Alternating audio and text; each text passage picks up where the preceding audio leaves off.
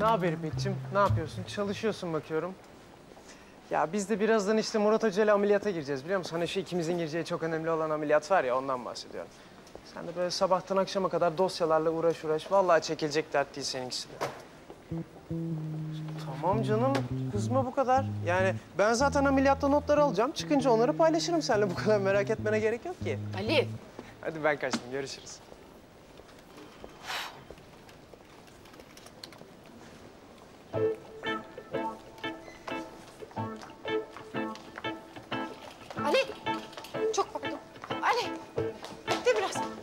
Dur. Ya kızım ameliyata yetişeceğim Allah Ya Allah. ama bak çok önemli. Ya Ali dinlesene bir. Sonra, sonra. Ya bak ne zamandır sana söylemek istediğim bir şey var. Neymiş o? Ee, ama herkesin içinde söyleyemem ki. Odaya girelim mi? Ya peki. Çok kısa bak söz veriyorum.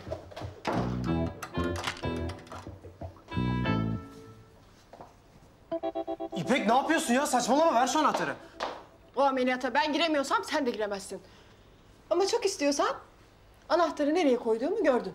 Cesaretin varsa al hadi.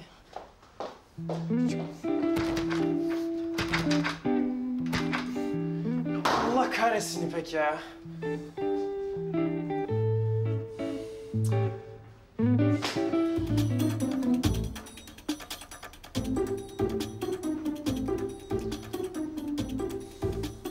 Ameliyat çoktan başlamıştır ha. Artık açabilirim.